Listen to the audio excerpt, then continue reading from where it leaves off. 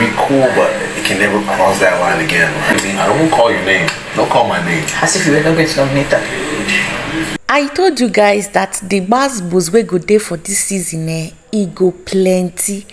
Now angel and ike they are having a discussion about mercy eke okay? So after the whole nomination and everything and una know say for this season the nomination dey too open.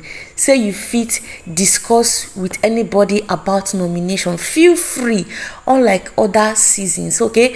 Ike was like no i will not cross her path and she will not even cross my path. Ike was referring to mercy eke wahala dey.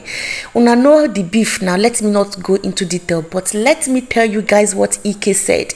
Ike said that he is assuring everybody you know especially person wey come dey get the whole conversation with that mercy eke will not win this particular show that there is no way mercy eke is going to win this season. Ha wahala dey o no be small thing. But earlier today i saw how they just like you know looked at each other and kind of making people viewers to see that they are still friends but maybe they are not dating.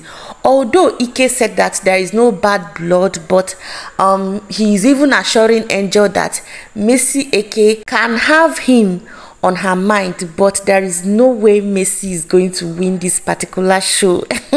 Wahala dey. And una know how competitive this season is.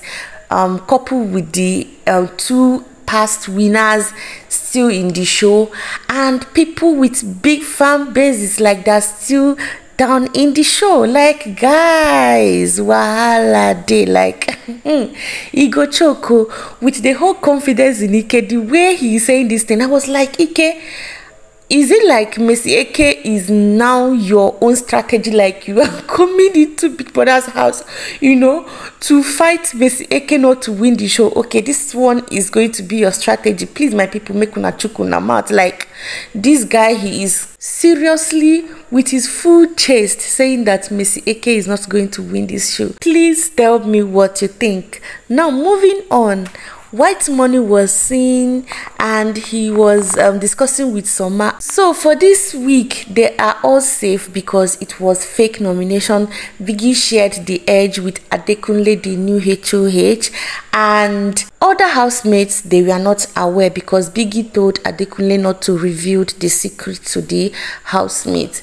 So um, Adekunle picked his BFFs. Okay, he picked Soma, Cross, he picked Frodd and Sheyi. So they are going to share the HOH lounge and the BFFs they can still sleep there, you know, do anything there, but there is no way they will take the food they will cook up and bring it down. Okay, so this is just the basic rules for people sharing the HOH house. Now, Soma is safe because you know Biggie said that BFFs they are safe for possible eviction this Sunday. So someone was like, "Oh, I am so happy that you know he he was not nominated and all that." So White Money was kind of advising him that um he should you know embrace whatever thing that he will see. As for him, will be White Money that he is not into any competition with anybody that he is here to be himself play his game and do every other thing that most importantly he is not in any competition with anybody. So far soma himself he has been so excited because na know during his time he went home early.